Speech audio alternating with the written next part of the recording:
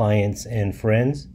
I want to do an update, and we've been talking about uh, our research regarding have we gotten to the bottom, and is June 13th the bottom? And we said, well, it looks like it was a bottom. And uh, well, I just want to share some insight and some research that we've been doing, and we're getting more comfortable with the idea that maybe it was the bottom, and, and especially the evidence we're seeing in in uh, some of the stock prices and stuff. But I wanted to go over this chart with you, and it's something I did a few years back, but it wasn't on YouTube. So I wanted to talk about interest rates and and how they influence uh, the investment community. So interest rates are a way to um, compare different in, income producing investments. So if if uh, if, if one bank said uh, for a fifty thousand dollars CD, we will pay you two thousand dollars a year, and another bank said uh, for a a um, hundred thousand dollar CD, we will pay you three thousand dollars a year you would be like, well, which one's better? And um, when interest rate will make that easy because on, on a hundred thousand dollar CD that's going to pay you three thousand, that would be three thousand over hundred or three percent. And a fifty thousand dollar CD that paid you two thousand would be two thousand over fifty thousand or four percent. Then it's easy. Oh, I'd rather have the one that's paying four percent.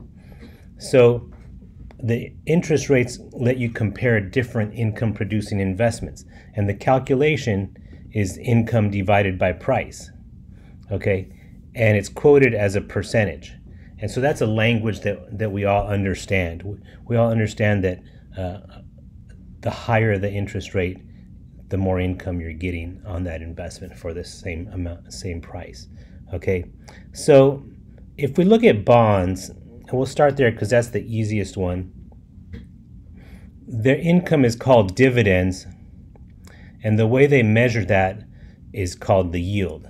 Okay, and if you look at bonds historically over a long period of time, a normal or fair interest rates on good quality bonds has been five to six to seven percent. Let me give you an example here. So here's the 10 year treasury rate this is going back to the 1870s, and it got really low start of World War II, and then it got super low, uh, uh, went to zero for COVID. But on average, it's been about five to seven percent. Well, about five. Um, shot up here. If you take take out the highs and the lows, the average is in that five to seven percent range. Okay, so this would be normal. If you could ever get um, high quality bonds paying you 8 to 9 to 10%, that'd be phenomenal. You'd be really excited about that. And when rates fall in the 2, 3, 4 range, it's not that exciting. This is, you know, normal. Like, for example, a long time ago when I was much younger, uh, I was a 363 banker, meaning I like to, uh, our, our goal was to borrow it borrow at three, lend at six, and be in the golf course by three. And so I was on the golf course one afternoon getting in nine holes, and I was just by myself. So they put me with this guy, and and he said, uh, you know, we started talking, and he's like, "So what do you do?" And I say, "Well, I manage investments." And so here's what he said: "Well, I got all my money in in eight and a half percent high quality muni bonds." So basically, he said, "Don't try to sell me nothing, kid." You know what I mean? Because he knew he had a very attractive yield on high quality tax free bonds, and there was probably not anything I could do that would um, do better than that. So, and he understood that he, when that opportunity came up, he locked it in for as long as he could, like 30 years. So that's what you want to do when you see rates that are this attractive. And um, when I say attractive, cheap, and safer, I don't mean 10% is attractive, 9 is cheap, and 8 is safer. I mean, this range, 8, 9 to 10, is attractive, cheap, and safer. Okay, so you could look at it as, as being attractive. You could also look at it as being cheap, and you could also look at it as being safer because there's not a lot of fear that rates are going to go up much higher from here.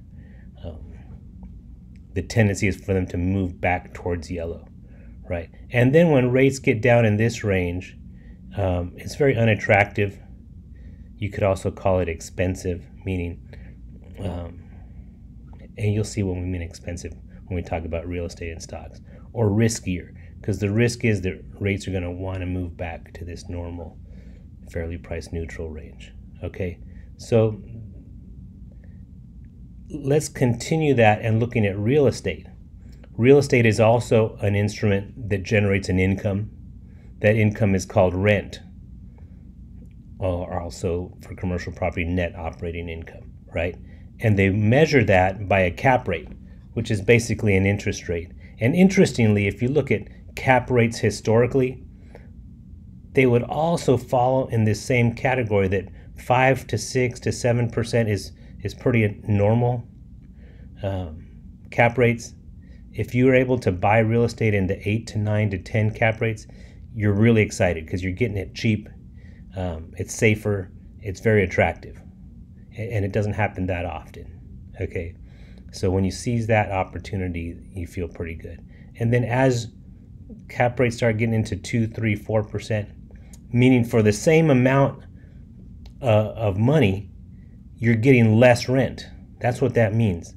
That means if you invest a hundred thousand, you're only getting two thousand in rent, or four thousand. Once you start getting five, six, seven, you're starting to feel pretty good. Eight, nine, and ten is extremely good. Okay, so this is unattractive. It's riskier because the tendency is for um, this would indicate that prices are very high in real estate relative to the rents, and and it could possibly mean that it's going to come back up. meaning prices are going to go down relative to rents and you're going to get back into this normal range. So, same thing for stocks. Now, stocks uh, are, are shares of a corporation, and corporations have earnings, and um, the way those the earnings are measured uh, is a PE ratio, which is uh, something that Benjamin Graham came up with back in the 30s when he started to look at stocks. He was the first one actually to look at stocks and analyze them similar to how bonds would be analyzed. And for some reason, he thought it a good idea to put this interest rate measurement upside down. You see how the calculation for interest rates is income divided by price? he came up with a PE ratio, which is the price divided by earnings. So it's backwards. It's, well, it's actually really upside down. So when we start talking about PE ratios, they're really just an interest rate.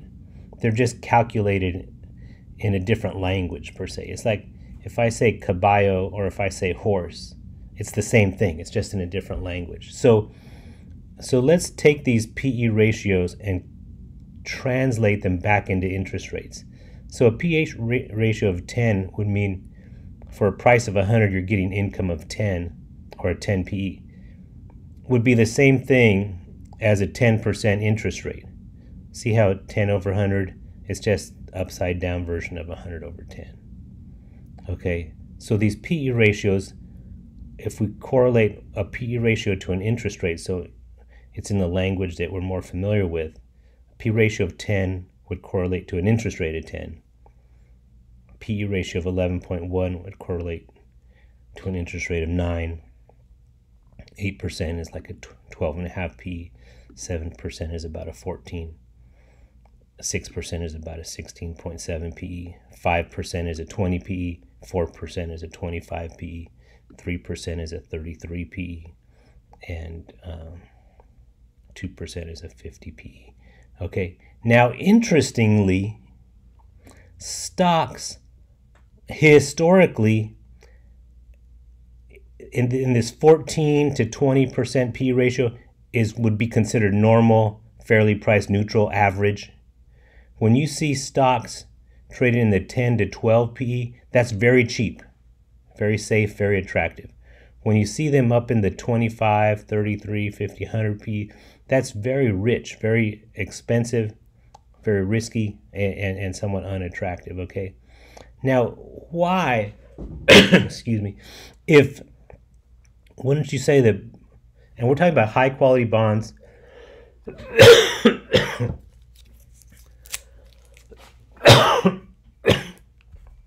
high quality real estate and high quality stocks.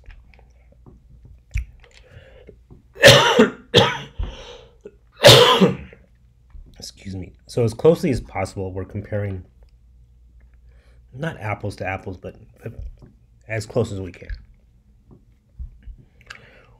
Why would people expect the same income from bonds is real estate? Wouldn't you say that real estate is a little bit more risky than bonds? Yeah, you could see you could see real estate prices go up and down, and there's more uncertainty. Um, in real estate versus bonds. So why do they trade it in, in similar um, ranges? Well, you could say the risk is higher in real estate, which would be a negative, but the growth is also higher in real estate, which is a positive, and they tend to offset each other. So, for example, if you bought a $100,000 bond, 10 years later, it's still a $100,000 bond. Okay, it's paying you income, but your principal isn't going up over time. 10 years, 20 years, 30 years later, it's it's still a $100,000 bond. But if you bought real estate, you know that over time, real estate tends to go up with inflation, right? And, and you bought a $250,000 house and 10, 20 years later, it's a $500,000 house. Sometimes it happens faster, sometimes it takes longer. But the general long term trend in real estate is that it goes up. And why is that? Because of inflation. And and what is inflation? It's it's the basket of of, of goods and services, and one of those goods and services is housing or real estate. And so as inflation goes up, real estate goes up and and the and your house appreciates. So yes, there's more risk in real estate compared to bonds, but there's also more growth.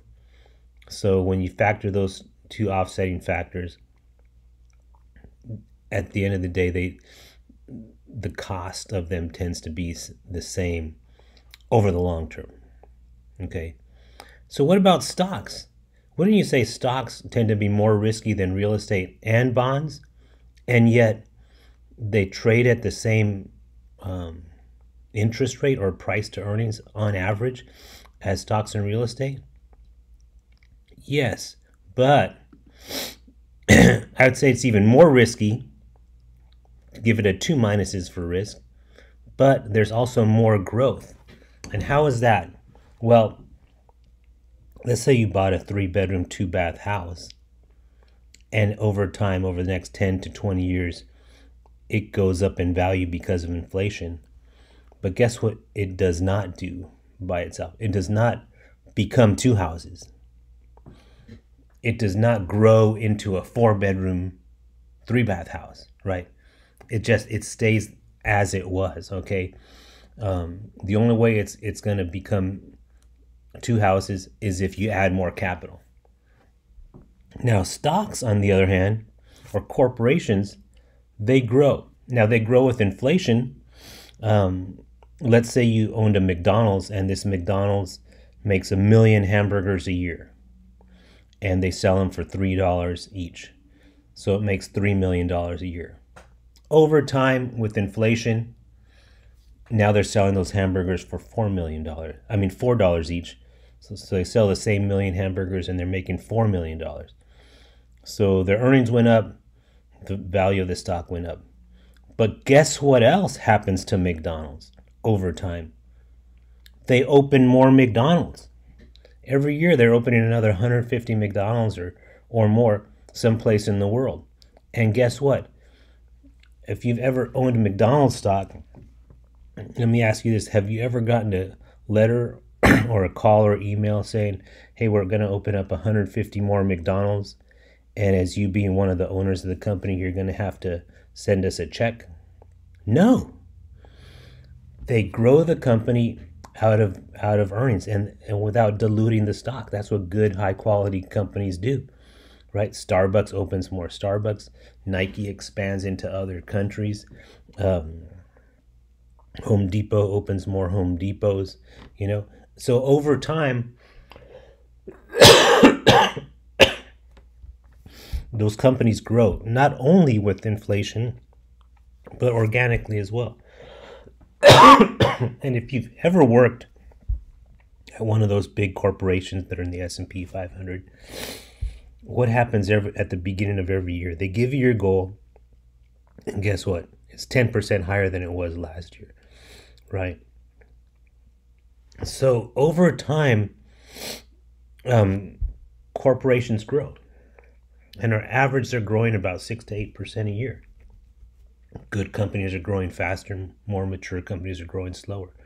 And the other thing is when you see one of those attractive ones that are growing more, sometimes you pay a little bit higher for them.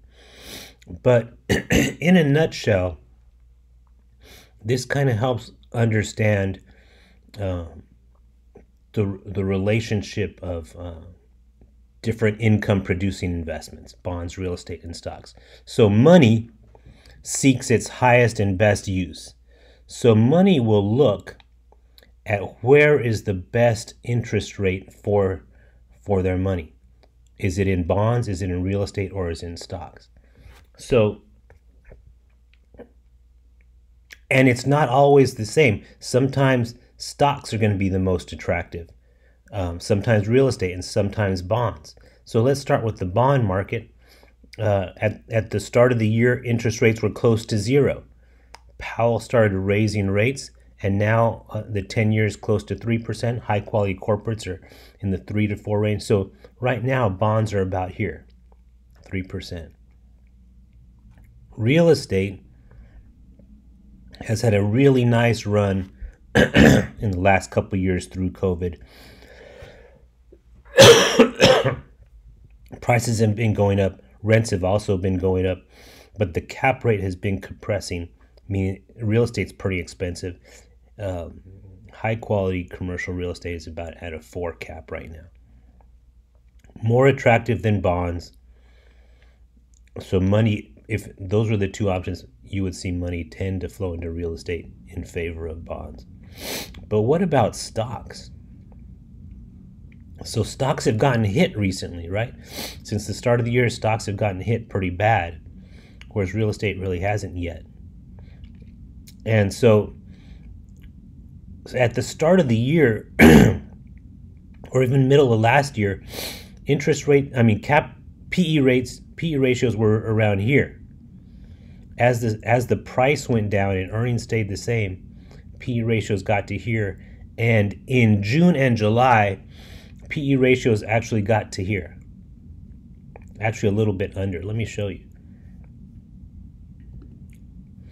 So here's here's the PE ratio uh, on the S&P 500, and you'll see back in 2021, it was in the 30s late 20, 20 it was in the 30s. It starts coming down. So this represents about a 3% interest rate. It starts coming down, gets to about 25, which is about a 4% interest rate in September.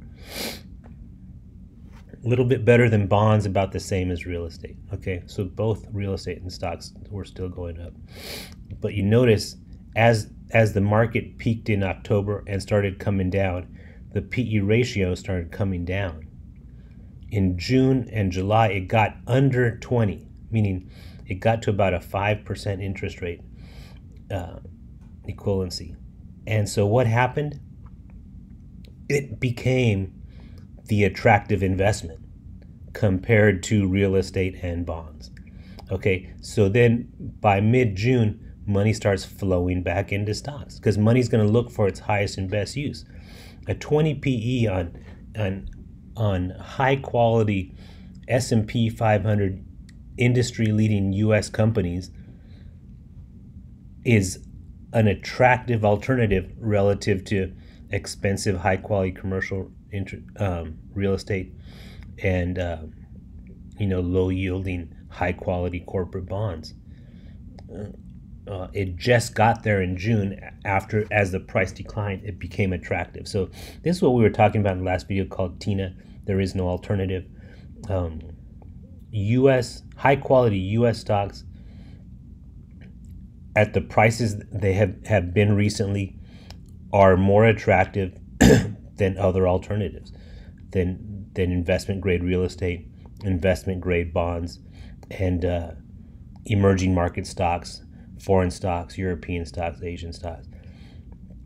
Even though this isn't historically, you know, bargain basement cheap, right? On an absolute basis, it's not cheap, but on a relative to what else they can get today, four cap real estate or, or 3% bonds, it's it's the attractive alternative. So this this is why we we think that we may have seen the bottom on June 13th. So and if you understand this this uh, spreadsheet, it, it'll really help you understand money flows and and, and when an investment becomes attractive or unattractive and, and, and how to allocate to the um, safest, cheapest, most attractive uh, investment and how to stay away from the unattractive, expensive, and risky investments. So these are absolute, but on a relative basis, we would say 3% bonds are the least attractive, most expensive, and highest risk in today's market. 20 PE uh, stocks in the S&P are the most attractive, cheap, and safer investment in today's market. Okay, so hopefully that helps put some perspective on uh, why we're starting to like stocks again at, at these prices. I hope you have a great day.